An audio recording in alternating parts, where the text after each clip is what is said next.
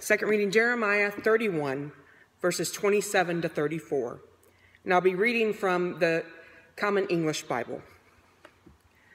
The time is coming, declares the Lord, when I will plant seeds in Israel and Judah, and both people and animals will spring up, just as I watched over them to dig up and pull down, to overthrow, destroy, and bring harm.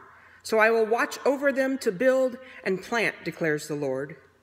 In those days, people will no longer say, Sour grapes eaten by parents leave a bitter taste in the mouths of their children, because everyone will die for their own sins Whoever eats sour grapes will have a bitter taste in their own mouths. The time is coming, declares the Lord, when I will make a new covenant with the people of Israel and Judah. It won't be like the covenant I made with their ancestors when I took them by the hand to lead them out of the land of Egypt. They broke that covenant with me, even though I was their husband, declares the Lord. No, this is the covenant I will make with the people of Israel after that time, declares the Lord. I will put my instructions within them and engrave them on their hearts. I will be their God, and they will be my people. They will no longer need to teach each other to say, Know the Lord, because they will all know me, from the least of them to the greatest, declares the Lord. For I will forgive their wrongdoing and never again remember their sins. This is the word of God for the people of God. Thanks be to God. Retired Bishop Leontine Kelly was elected to the episcopacy in the United Methodist Church in 1984.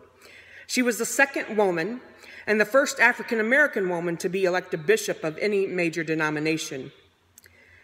When Leontine was 10 years old, she lived with her parents in Cincinnati, Ohio. Her father was a pastor active in the community. One morning, as she was getting ready for school, she heard a knock on the front door. She ran down the stairs to answer it, and there on the step was an imposing woman with a confident air.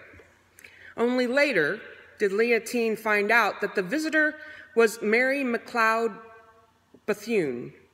Dr. Bethune was a prominent educator and civil rights leader and founder of the School for African American Students in Daytona Beach, Florida, that became Bethune Cookman University, and an advisor to President Franklin D. Roosevelt. Dr. Bethune was in town to raise money for her school, an effort which Leontine's father was helping. Now, Bishop Kelly says that as she looked up in awe at this imposing woman, Dr. Bethune looked down at her with no preliminary statement or question like, How are you this morning? or Could you go get your parents? She simply looked at her and inquired, Little girl, who do you plan to be? At the moment, the fifth grade girl had no plans to be anything other than a fifth grade girl. But the question started her thinking, and it came to guide her life, gaining more and more resonance as she came to understand just whom to was just whom it was who was asking the question. The text this morning speaks of a new covenant God is making. And what is a covenant?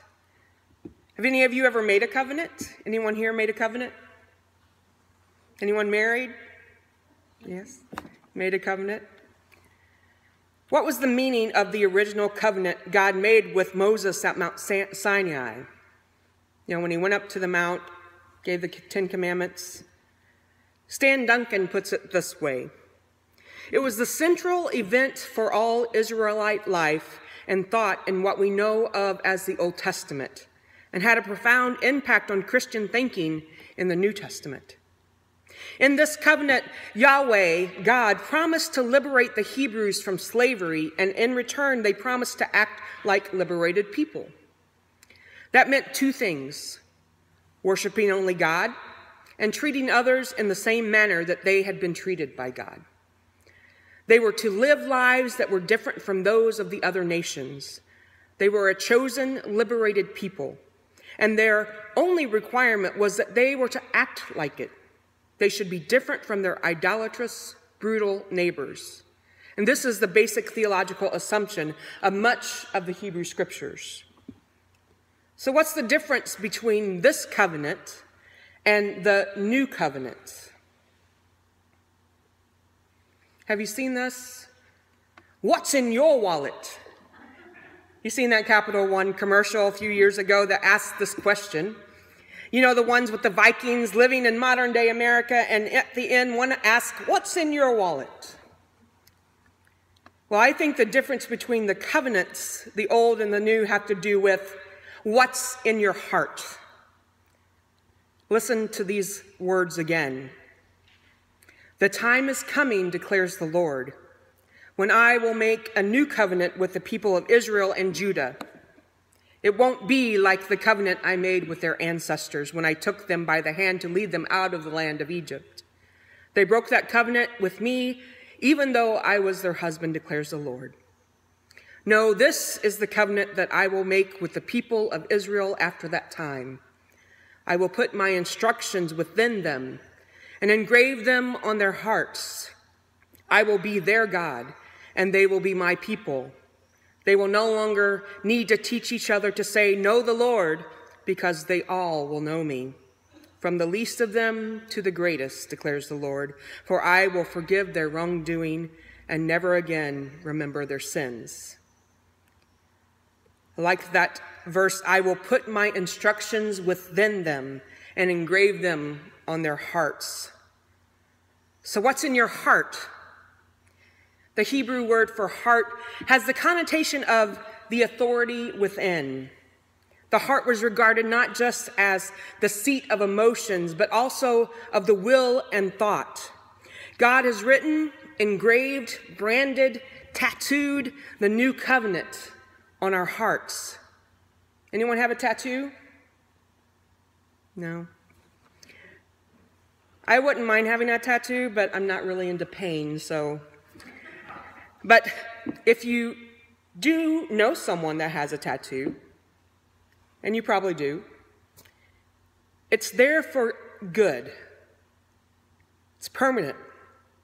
Unless if you have it removed, and which I understand is even more painful than if you actually get one. So, do you know who John Wesley is? Founder of the United Methodist. John Wesley believed that there were three kinds of grace. Do you know what they are? The three kinds of grace? First is prevenient, second is justifying, and third is sanctifying.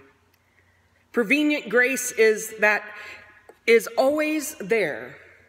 Grace is always there, but we don't see it or realize it.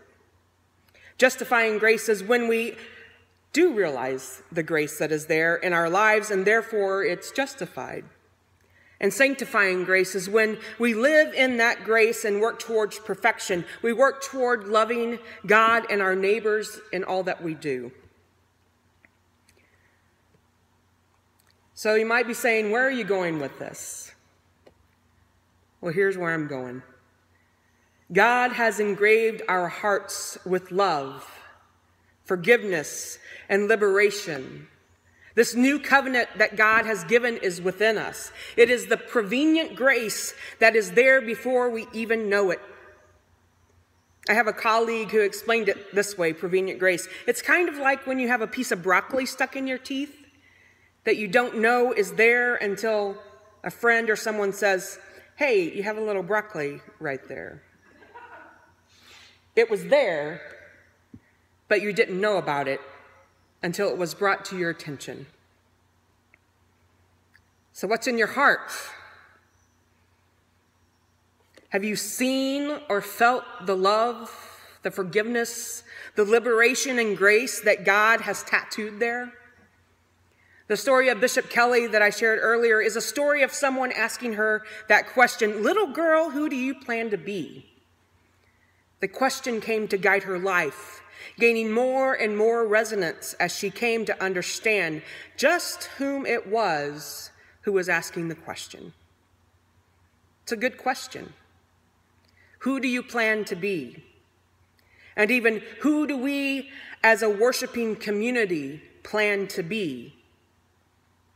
It all depends on what's in your heart.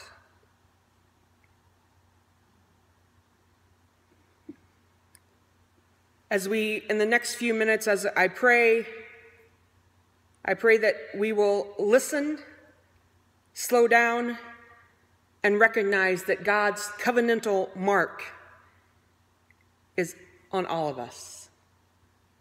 Let us pray. Slow me down, O oh Lord, slow me down. Help our heart to hear your sound. Speak into our lives, Lord, speak now. Slow us down, O Lord, slow us down. Clear our minds, O